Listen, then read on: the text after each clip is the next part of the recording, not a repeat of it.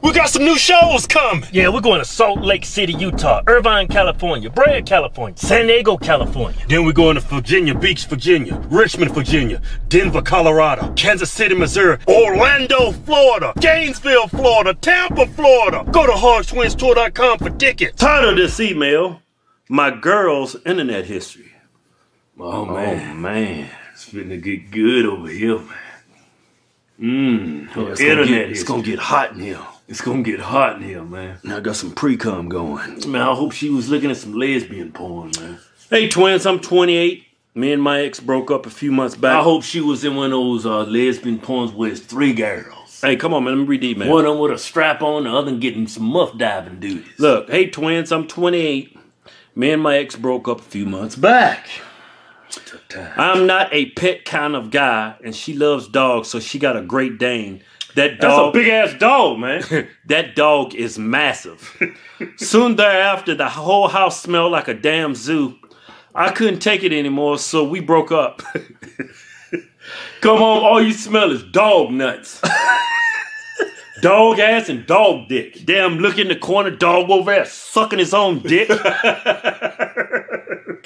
Damn dog sitting there looking at you while you doing it. Hey man, get the hell out of my house. Sucking your dick and shit. Licking your damn balls in my fucking house. Man, when I when we grew up, man, we always kept our pets outside, man.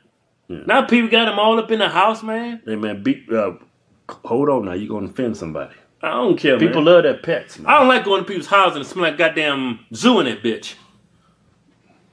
Remember that one dude, GB? Walking his house, smell like a goddamn chimpanzee in there.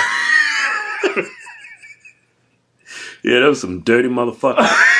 Look, soon thereafter, the whole house smelled like a damn zoo. I couldn't take it anymore, so we broke up. But I do miss her, so I called her up and we rekindled our relationship. She invited me over. While I, while she was in the shower, she asked me to search for a doghouse. what? While she was in the shower, Uh-huh. she asked him to search for a doghouse. Why don't you just buy him a, a real house, big as that damn dog is? Which is cool. The damn dog ain't gonna be in the house no more, That's what I'm thinking. right? While searching, some crazy stuff came up in her history pertaining to bestiality and sex with dogs, like her Great Dane.